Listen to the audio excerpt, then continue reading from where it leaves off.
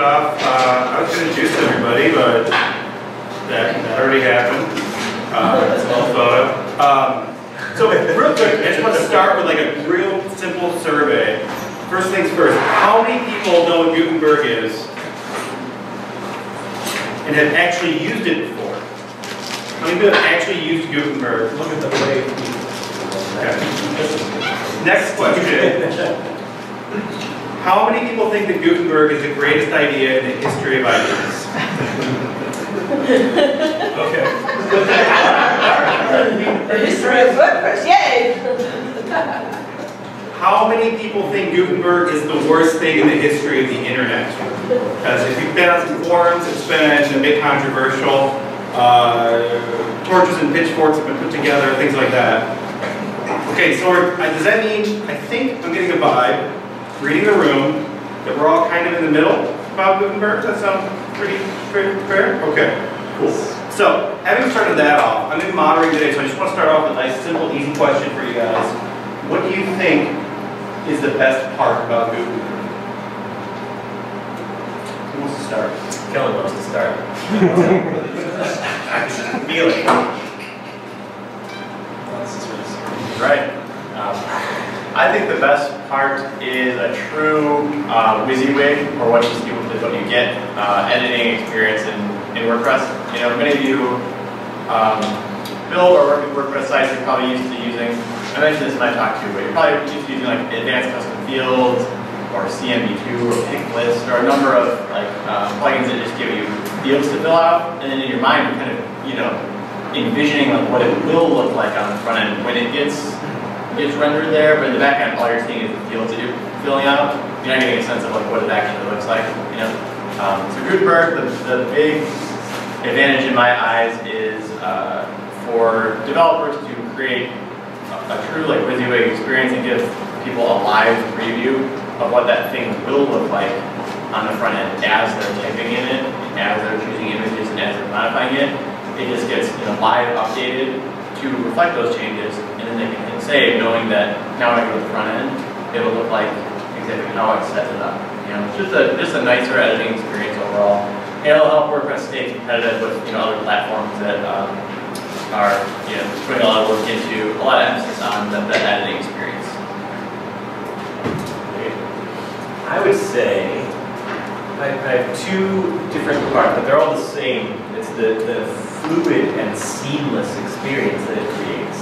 A lot of care has been put into the development side of things, building up components and making a cohesive UI. Um, most of the admin experience stuff in WordPress feels kind of half-baked. Like it's, it's built perfectly for serving WordPress core, but us as developers trying to add to it, we have to bring in all of our stuff. We want a settings page? Perfect, we have functionality for that.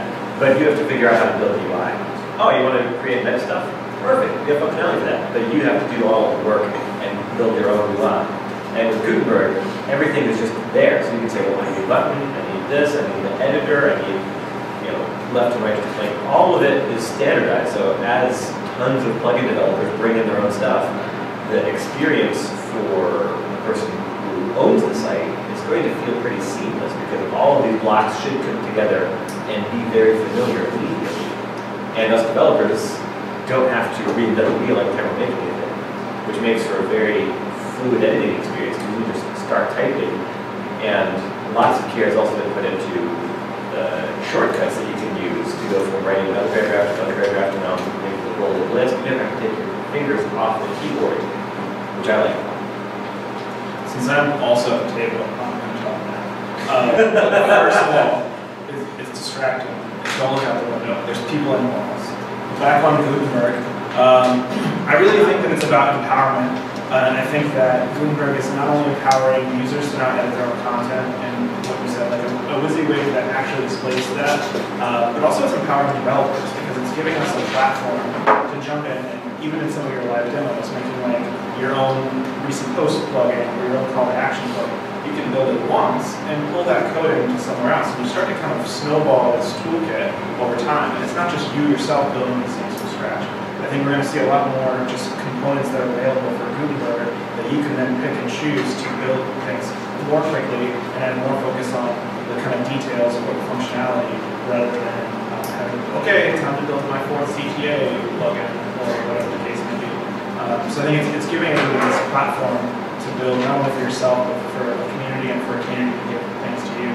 Um, I think it's going to be really exciting, uh, whether it ends up in the core or not, to build upon in a standardized way and, and kind of extend not only extra life for WordPress, but just extra life back to where they build cool things.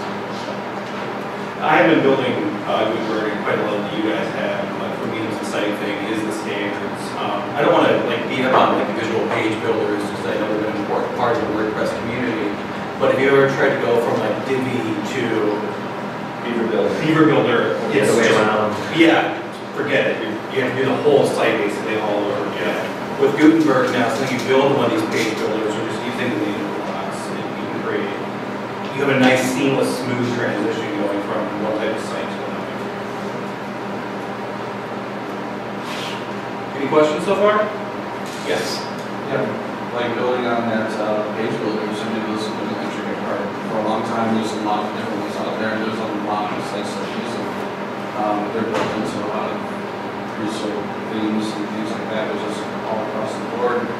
Um, how will a website that's already interacting with page builders react to having this new uh, editor? So just so, just so that you can hear in the back, I just want to iterate your question. Was a lot of sites are built in these these builders. Some of us inherit them and now have to kind of support it. Others we've been building them from the start. There's a there's a gamut of things. At least from what I've seen, there's something I think the WordPress core team is taking into account is that there's not only the Gutenberg experience, but there's also a plugin that I forget what it's called, like the old editor or something like that, where you can keep those sites in the classic format without using uh, Gutenberg, so that way those don't break. Uh, but I think earlier we were saying that uh, there's this, tran this transformation where a lot of these builders are now going going Gutenberg and, and looking to build towards that future where they can all be in one ecosystem. So I think there's a stopgap for the ones sites that are already built that way, then as time goes on, there still be a, will be a place for everybody. Yeah. It's, it's a very awkward time, as talking about this somebody earlier today, where, like, you want to build for Gutenberg now, but Gutenberg is still this sort of moving target. It's, it's mostly well-formed, but it's not completely done. And it's a gamble to say, like, oh, I'm just gonna, we're gonna build for this now, and then, oh, we have to rebuild the site in a few more weeks because a bunch of stuff has changed. Ideally not, but it's possible. But that's also true if you don't build with Gutenberg in mind right now. You're gonna build for whatever tools you have right now, and then in a few months, oh, well, now everybody wants to use Gutenberg, and these two things don't really mesh perfectly. They, they are meshing well, because all the page builders out there like, oh no, our core market is going to disappear because now WordPress core can do so many of the things that we've been promising. And I think what we're going to see is them bringing the, the unique benefits that they have into Gutenberg. Beaver Builder is a page builder that I like a lot. They focus a lot of energy on converting, they call them modules, into blocks. Um, and they do a lot of things in Beaver Builder that I like for saving modules for reuse, saving a, a row of content, a column of content, uh, that they've helped bring to Gutenberg. So Gutenberg does have like saved modules, saved, sorry, saved blocks that you can reuse quickly, and essentially of what you're doing. I think the page builders are going to bring that into Gutenberg in a really nice way. And so you won't be locked into saying like, well, this was a Divi site, it's always going to be a Divi site. Well, this uses some things from Divi, and it uses some things from something else, and some things from core WordPress. It's super maintainable. Right. It, it should be more maintainable going forward is the goal. I believe I saw another hand raised in the back. Oh, Yeah, okay. go too quiet. Oh, okay. So kind of in the opposite of my first question, what do you think is the biggest weakness we have with Gutenberg right now? can take that. At the moment, it, um, it doesn't support some kind of like fundamental thing, in my opinion, like it's, uh, in some of the blocks, you can't have, have text and insert an inline image. There's no support for that right now. Um, and the, the two column block, for, for instance, at, the, at this point is labeled experimental, we're still working on. So to Brian's point, like I wouldn't launch a site um, on Gutenberg right now, because you might have users that are frustrated by those things, or like, I want some text an inline image. I could do that with the old editor, why can't I anymore, right? But uh, I think those will, you know, those are on their list, I'm sure, the um, developers of Gutenberg to be ironed out and addressed pretty soon. Um, So that's one weakness right now, just from like a usability standpoint, like right at this moment. From a development standpoint, in my opinion, the, I don't know if I would call it a weakness, but just more of a hurdle is um, a lot of, a lot of WordPress developers, I think, are used to the good old days where it's like, you have your PHP files, and your CSS file, your JavaScript file, that's it. And those three are all you need to maintain um, to, you know, send that code to the, the PHP code on the back end to generate your markup, and then the CSS and JS might modify it once it gets to the front end, but that's it, you have to worry about those three things, right? Now with this modern tooling though, it's like, I feel like there'll be a hurdle, hurdle for a lot of people to dive into this stuff, you know, they'll, um, they'll look into like, uh, JavaScript's ES6, or ESNext syntax, and then React, how that works, and then Redux, which Gutenberg uses for state management, which they might not need to dive into it a ton, but maybe to some degree. And then JSX, the syntax that React uses, and then, you know, configure things about back and Babel, and so many like new things, I think it's more of a, more of a barrier, more of a barrier to. super easy. What? No, I'm just saying, I think, I think, I think One with the tool I downloaded, like anything you make it more easy. Oh, for sure. Yeah, uh, just piggybacking on what you said, I think that there's gonna, so another obstacle that is in, in Gutenberg's path is that for the longest time, it's been coming, and it's still coming. But a lot of developers are like, okay, I've got too much going on, let me know when you're ready, I'll be back. And like, so there's gonna be developers that now, once it launches, uh, fully, that now are just starting out out of the gate and had to kind of pick up speed and catch pace. There's, there's also the ones that have been with it throughout the whole middle. Uh, so I think there's, there's gonna be for a bit, of just a wide kind of array of people and skill sets and, and knowledge bases. And I think that one thing the WordPress community has always done is kind of rallied together. So I think that this, to that effect of, I have to read like Webpack, React, Redux, all these other things. Um, I think there'll be things that make them, things easier for, for people just in your talk, like the app that was made to create a, a Gutenberg block. I, I think we're going to see more tooling and more things to ease that friction, because that's what the community's always done. No, that's perfect. Um, I think the biggest weakness is that it still doesn't write my content for me. I would like to do that. That's the hardest part, is, is coming up with the content. Um, also, it still has a few accessibility challenges, rather, it introduced a ton of accessibility problems, but they're actively being worked on, which is awesome. So, I think ultimately it is going to be one of the more accessible web interfaces for creating content. But at the moment, since it's still being built, it poses a ton of problems for people who are using assistive tech. But over time, that would be a problem, it would be amazing. One of the concerns I've had is, even outside of just the WordPress community, just like talk about for example, there's huge debates around CSS and JavaScript, and combining those things with components and things like that. And now what we're doing is we're taking all those problems that are outside of WordPress, and we're pulling them all in there, creating a whole new debate. Uh, so you guys had a position on that. We ran into things to argue about, we need more things. I'm still out on semicolons. Never again, no.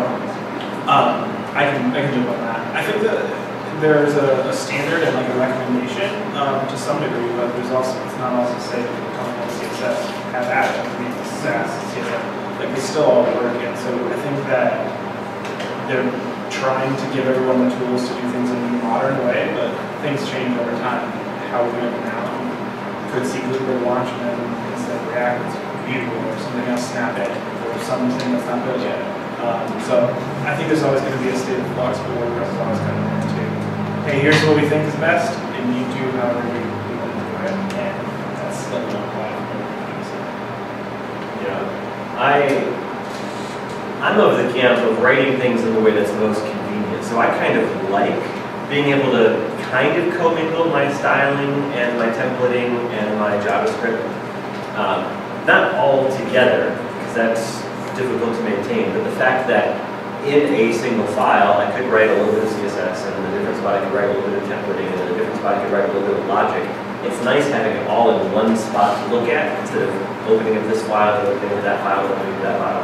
And then having the build tool pull out the relevant bits. Like, okay, all the styling goes into this style sheet, all the JavaScript goes into this JavaScript file, all the templating is what gets right in the front end.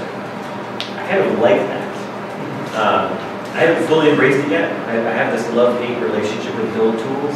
Like I like that they exist and can do a lot of things for me, but I hate like, okay, before I can start my project, I have to make sure that these 10 things are all lined up. Of, part of me still likes just plain old JavaScript and CSS. Oh, oh, oh no!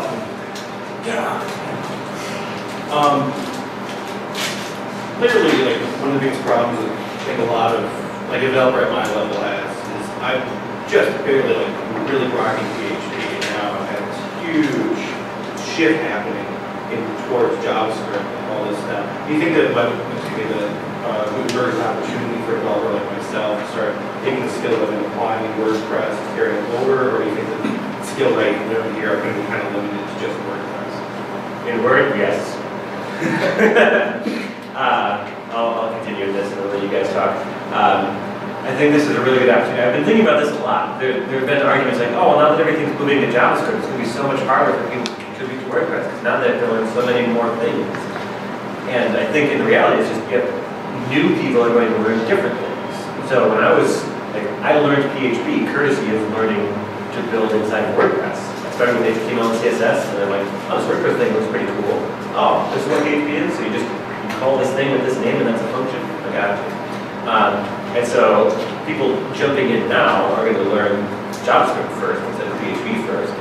Um, so the people who have the most to learn are us who are already entrenched, who are now learning another way of doing things.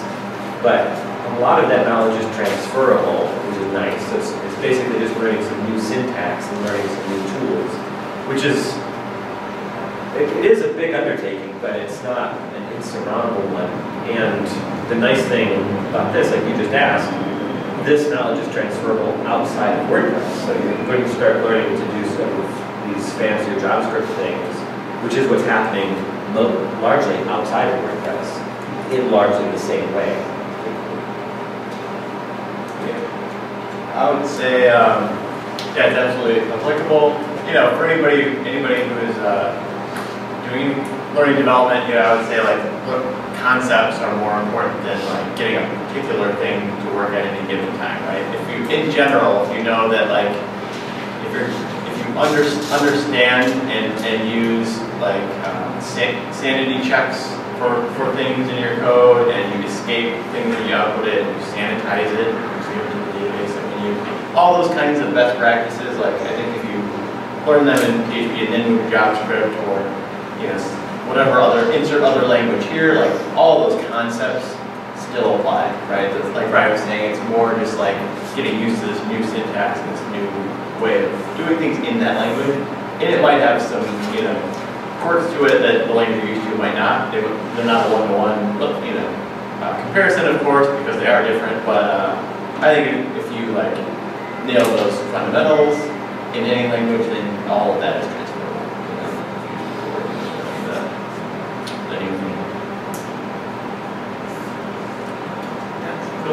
Where would you recommend um, learning about these, these new, uh, you know, we did say everybody needs to know React and whatever the rest of the stack is, like what resources have you guys used to kind of develop those? And is there custom syntax for WordPress, like how the WordPress modified PHP, is there custom uh, syntax now for JavaScript that's really specifically for the, is there additions to the codex or what's up with that? So the cool thing is, you don't strictly have to learn React. You could, you could go about building stuff for Gutenberg and never actually learn a thing about React, which I know is true because I, I haven't, and I have been writing stuff for, for Gutenberg. Um, you'll be much better off if you do. You don't have to. Um, Wes Bos has a really good React for Beginners course. It's amazing. I think it's reactforbeginners.com. If you just Google React for Beginners, you'll find it. Or Wes Bos. He's got of great stuff. He's super awesome. He's got like a JavaScript course and a React course. And He makes us a great Yeah, course. the great course is awesome. uh, Zac Gordon's Gutenberg course that I mentioned at the end of my session. If you go to gutenberg.courses, there are actually two different courses. There's one by my friend Joe Casabona that's all about using and working with Gutenberg, which is perfect to figure out like all the cool things that Gutenberg itself can do from like uh, end user perspective, which is also really good to share with clients. Like, here's all the stuff that you're going to want to know about this new editor. Um, but then Zac Gordon's course is all about development, and he takes you from the very beginning. Like, all right, we're going to start with some basic JavaScript. We're going to set up Webpack. We're going to get everything just running basically. And now we're ready to build a block. We're going to build these 10 different blocks, walks through from very simple to very complex. Very easy to follow along with. Um, Hi, yes, a comment and a question. The comment is, could you repeat the questions? Oh, yes, I Okay. forgot to do that. Uh, The question is, everybody's encouraged to take a mobile-first approach to websites, right? Does this, uh, what you see is what you get in Gutenberg contribute to that and therefore save development time? Or is it pretty much uh, what you see is what you get on a, you know, on your big Mac? That's a good question. I'm going to fit, in- fit into that for a second, because I think you two had something to add. The question that I was answering that I forgot to repeat is, where are good places to go to learn all of this new stuff that we're going to have to start figuring out pretty soon? The Gutenberg and like the Reacts and everything else. Yeah, and everywhere else. Did you have something to add to that? Yeah. So I think another thing to your point, like, just all this stuff, like, do I need to learn React to get Gutenberg? I think at first when you dive into it, and maybe, I don't know if it was weird for stuff. It was awesome, you missed it, I'm sorry. Um, I, I think as you start to get into the code, there's gonna be like, wait a second, what's that? Uh, and, but then you start to like look at it, and it starts to slowly kind of come together. And the more tutorials, whether it's a course or YouTube, or just digging into the code, whatever your style is, um, it'll start to just you just, oh, okay, I just do that. But if you want to take it further, and, and you'll start to learn like, oh, React, this is just React. Like there's there's things that start to connect. So it just depends on can you get away with just it's magic and it just works, or do you need to get in the, the gears and, and find out what's going on. So I think there's a spectrum. Like you'll be able to survive without learning React. Yeah. So and but I, I think if you are adventurous and, and you jump into React, it will just solidify what you know and what you really know. Um, I would say, so Wes Bos, I would echo what those guys said. I've taken several of these courses, like all really well done. Another one is Stephen Grider, um, has courses on Udemy. They are super cheap. I took a, one of his React, two of his React courses, each one I paid like thirteen dollars. That's a ripoff. Wait until they're ten up. It's funny you did, I got the first for thirteen, and at the end of it, it's like, did you like this? Here are coupon codes for money off. Don't ever pay more than Thirteen dollars. So the next one I got for like that. What was the instructor's name? Stephen, it's with PH, S T E P H E N, Grider, G R I D E R. He teaches on Udemy, U D E M Y dot com. His are really good though. He has, he has like React, you know, basics fundamentals and then an advanced one. I'm taking both of his. Both of them are just like, um, it's like if you were sat down with somebody else and then, and then and you asked them like, can you show me start to finish how to build a simple React app? Like anything I would, everything I would need to do. He just does that a couple times in a row. He's like, here's the first one, it's pretty simplistic. Start to finish, here's how to do it. Once you master that, the second one, it's a little more complex. Start to finish. Here's the third, and like by the end of the course, you've built three things, and you know the second and third build on uh, the skills you learned in the first one. His are really good. Um, Still kind of points of invention. Yeah. Yes. Yeah, that's Has good. anybody actually opened the Gutenberg editor on a phone yet? 'Cause I haven't. Wait, you know I what? only use phones for develop all. Sorry, I want to add one more, one more thing I almost forgot. Um, that is, I would push back a little bit on the, the idea that, um, you don't really have to be familiar with React to work, work with Gutenberg. The more I dig into it, I find that like, in React, there's a difference between, uh, what's called a stateless functional component, where it just takes in some props and renders something out. And then there's something called a stateful component, where it has an internal state that it keeps. I think if you're um, if you're making pretty simplistic blocks that are just that stateless functional component way, then it's absolutely true you don't really need, need to understand how React works. You can just, in Gutenberg, you can say, my edit function does this, or my save function does this. If you're, if you're building more complex blocks that need to keep track of their internal state, um, I would say you really need to know React because you can extend its components and then create the state object that you update at different points in the, um, in, you know, when the user is clicking around, and different interactions, update that, that state using React's um, methods for doing that, like dot set state. You really have to be familiar with that and update the internal state of that component. Um, and also lifecycle methods too. If you're digging into core Gutenberg, you will notice some of their blocks they've written use these functions like component will receive props, component will mount, component did mount. If you don't know what React is, you, you, you'll just think like that's a name they came up with. You know, you don't, really understand, um, you won't see that function being called anywhere either, that's the other thing. You just have to know, if you know a little bit about React though, you know that, oh, well, um, co- component did mount, that's the thing that React calls automatically whenever a, a component is mounted, you know, and, it- and about, and it's being displayed. So things like that, I would, I would just say like the more you dig into it, the more that would be a requirement to understand like the lifecycle method, when you see them, what those are actually doing, and then how to in, update, uh, the state inside of it. And some of you, like, if that sounds over your head, over your head, you're like, I don't even know what, what internal state even means, you know? Um, I would say, like, don't start there. Start with something simple, Gutenberg blocks, and then if there's a need to keep track of that, then get to it. So, like, my, for you, for anybody who's in my talk earlier, um, second block, the dynamic one, that had some internal state, state to it, so you can take a look at that for a simple example. It just keeps track of, like, what the last, you know, um, last interactions were, and then it renders a different thing in, depending on the new like, internal state, what it's been set to. So the next question was, Sorry.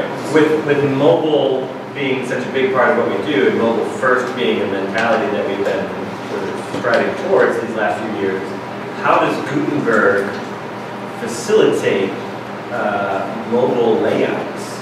You want to take that one? Just throw me over the- Yeah. Uh, So I think, I think there's also, just something to think about now is where Gutenberg is today and where it's going. I think very much what I believe is that they're going to keep inching closer and closer to a true what you see, what you get, where the back end and the front end are going to start blurring. And it'll almost be just, I'm logged in and I'm on my site, I can click on a title and just start editing. Like, I think that's what we're doing. Yeah. So I think with that, you're going to start to see, and if you saw in his talk, just because he, he showed us the code, so that's why I keep referencing it. Um, there is style for the front end and the back end already baked in. So I do believe from what I've seen, what I've experimented with, you can start to put those media queries in those style sheets and start to have your back end react to it based on the screen size.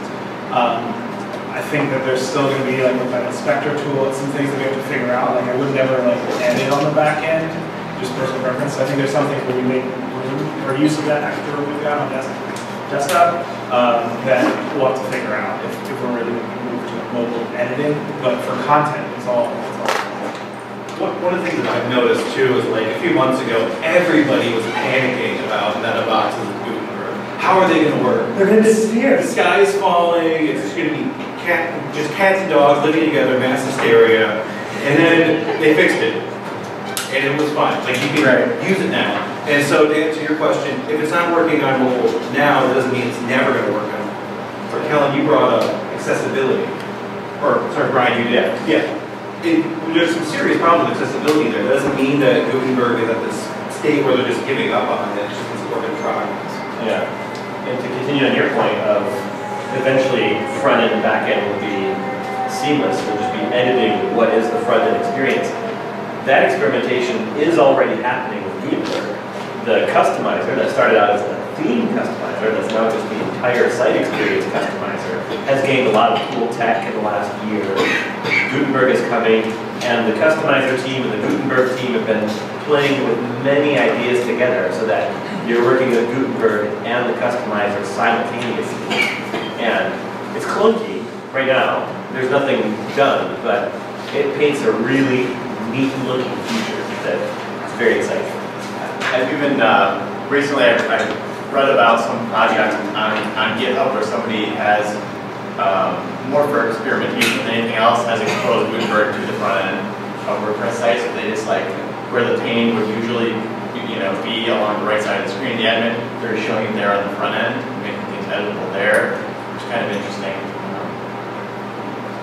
Ian, you had a question? Yeah, um, what's the, what are we looking at for like the release of the core for Gutenberg? And are you guys using, um, a plugin in any production sites for clients right now? Helen knows. So the question to, to reiterate for the camera and anybody who didn't hear, what's the projected release date for Gutenberg merging into Core? And are any of us using the Gutenberg plugin as is on a production site? What do you think? Um, nobody knows is the answer number one. They, they were, um, they've been saying WordPress 5.0 is the, um, what they're striving for. And you all are probably, um, familiar with WordPress's like annual themes that they've created for a long time, right? 2013, 2014, 2016. There wasn't one this year, right? Because they, a lot of orchestra are putting all their, all their effort, all their focus into getting Cooper, you know, out the door and ready, production ready. So that's where all, really all the emphasis is right now, but I mean, there's still a backlog of like accessibility issues, um, to address, and things I mentioned about like inline images and column There's something like 600 open issues on GitHub for Gutenberg right To now. put it in perspective, like the amount Yeah. of total open versus what they've closed and like what's remaining is huge. They've been working their tails off. Yeah. Like, so it sounds like there's a lot, there's been a lot that's kind of done too. So Yeah. just- to their credit. Yeah, so it's, it's not unclear right now. Yeah, I think one of the best parts about this project is it sounds a little scary. It doesn't have a specific deadline because they want to do it when it's ready as opposed to choosing an arbitrary date and kind of rushing it out there. And we're seeing, I- I'm getting a vibe it's taking a little longer than I think people were planning, but that's okay because we're building it out to meet the standards. Yeah, in December, there was a lot of optimism that it could be done by April. And on Tuesday, it will be May, in case anybody hasn't looked at a calendar recently. And it is not ready yet. Last I heard was they're shooting for this year. So Yeah. hopefully this year, but I think the longer that we wait, the better the release it'll be and agree. be less hiccups. And I think that it is such a huge shift in the way that WordPress has worked for so long that they just want to make sure to take the time. But if it's taking too long, it's open source to help out. Yeah. Is WebDev using it on, in production for anybody yet? We're not, no, intentionally, we're not using it right now. For the issue, issues I mentioned, inline images, columns, whatever else, like, I think, you know, the baseline, uh, the baseline for like, whether you should use it right now or not, to me is, is it worse than the current editor in any way?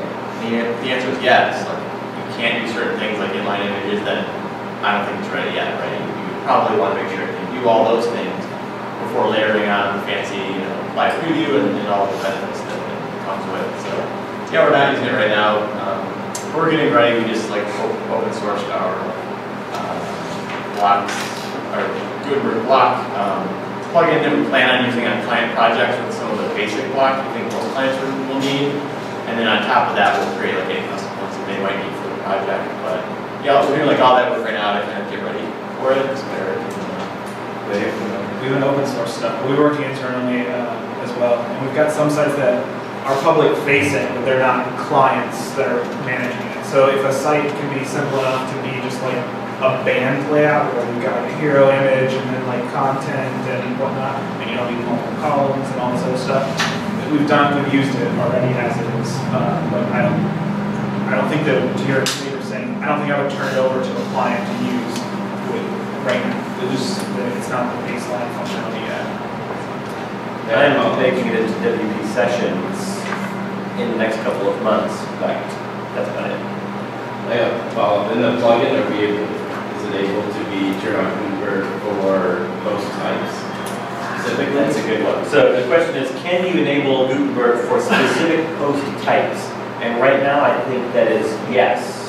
I think by default, it's enabled everywhere, but you can explicitly say, don't load Gutenberg for anything except this one post type. Uh, Human Made is one example. Uh, they're an agency based out of UK. They rebuilt their own site focusing on Gutenberg and wrote a beautiful blog post detailing some of the challenges their site is cryptically hmn.md. So human made zero vowels. Back to you, sir. We can talk about those. I'm gonna say one last thing. What was it, last question? It was about, uh, using, Production. we asked about using information. Yeah. Just back on. Uh, I've got like two and a half overview questions. Okay. Um, will Gutenberg be mandatory? Is it the largest overhaul? And if so, why? That's good. Mandatory, yeah. So is it mandatory? Well, that was a video that WordPress, like, it's an event, and they put, the last thing I heard about that kind of situation is that at one point when it gets released, it will be rolled out as the editor. But there's a plugin that is like old editor or something like that, that you can install, classic. Uh, I'm gonna call it old time. No, um, but yeah, that plugin, if installed, shuts down Gutenberg by default and allows you to. So I think at that point, when it's time to go, there'll be a roadmap uh, or a path to like upgrade. And it'll be, do you have a site that you want to stay pristine and the awesomeness that you built it? If so, install this plugin along with the new update of- WordPress. Otherwise, Gutenberg and handles all of this. I believe is the current plan. Um, and then you said two awesome questions after that. Is this the biggest overhaul ever? Uh, from my recollection, I think the WordPress API and this are close because those two things, like, it's like a toy box now of what we'll be able to do. Uh, my buddy did a talk downstairs, Anthony Alamano, about the WordPress API and how you can actually like don't have your front end be WordPress driven. You can have a React app have a single like uh, app application that is fueled by WordPress. So you get the coolness and the easy editability of WordPress control your data. Then you're just funneling that off to some app somewhere else. And that's the, the customer facing piece. So I think that's going to be really cool. Uh, but then Gutenberg right behind it. Of, now we're able to kind of almost see visually the layouts and have all these tools that the community build or do it build yourself. So I'd say it's up there. And you had a third question that was also super awesome. What makes the Gutenberg overhaul such a monumental change? I think it's because the, and sorry, yeah.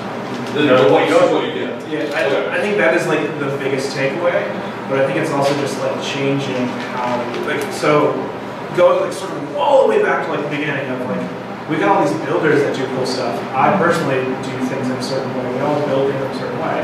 Gutenberg's kind of standardizing that, so in the future, we can keep building cool things. Right now, everyone's like, oh, I'm either an advanced custom fields guy, or I'm this for the post type data.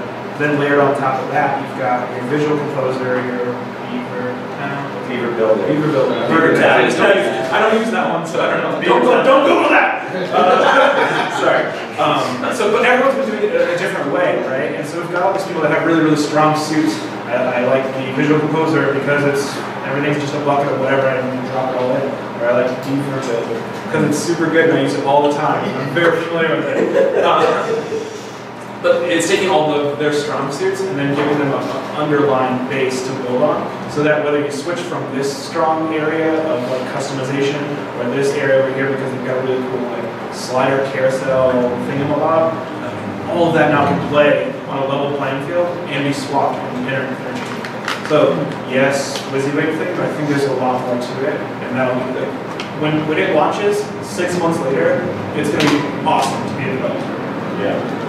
I think the biggest UI change was actually from WordPress 2.5 to 2.6, maybe it was 2.6 to 2.7, where the complete admin interface changed. It had a, a horizontal navigation across the top, and then they implemented what was known as the Crazy Horse layout, which has the navigation down the side, and brought with it many, many wonderful refinements that have been iterated on to what we have now, which was awesome. This is the, the single biggest change to the editor since WordPress was created. It's been a TinyMCE since the beginning, and that has brought with it all of the wonderful challenges that it has had.